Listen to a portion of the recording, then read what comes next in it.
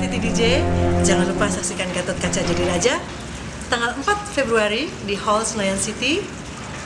Sudah.